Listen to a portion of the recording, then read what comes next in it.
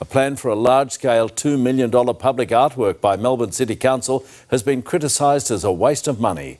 But experts say a contemporary piece is needed for our city to remain Australia's cultural capital. Dougal Beattie explains. Melbourne has had its fair share of contentious public art over the years, from bovine stuck up trees to shards reaching into the sky.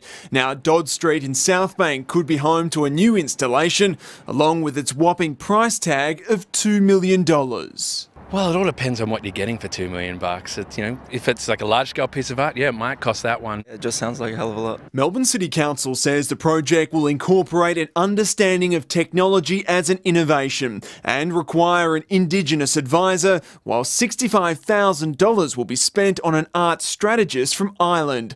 Art experts agree it will be internationally significant. Part of what we're paying for, if you like, is to get something a bit left of centre, a bit, a bit, a bit interesting to shake us up a little bit. But others have labelled it a giant waste of ratepayers' money. What council could be doing is delivering a rate cut.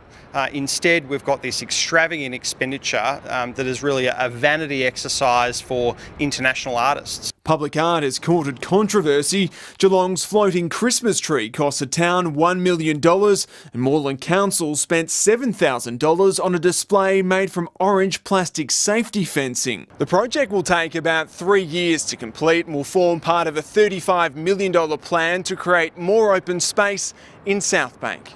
The global search is on for an artist to spark Melbourne's imagination. Dougal Beattie, 9 News.